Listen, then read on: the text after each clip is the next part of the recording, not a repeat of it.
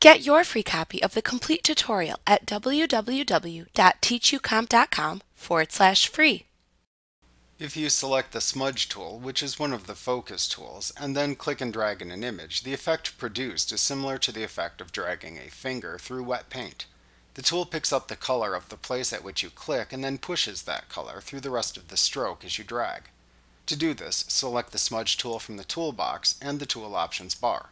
It shares the spot on the toolbox with the blur and sharpen tools. In the tool options bar, set the brush stroke and other brush options as desired you can set the blending mode, brush, size, and strength from the drop-downs and sliders available. You can check the Sample All Layers checkbox to select using the combined color value from all layers. If unchecked, it will only smudge the color from the currently visible layer.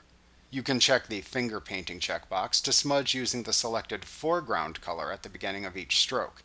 If deselected, the tool will use the color under the pointer at the beginning of the stroke instead.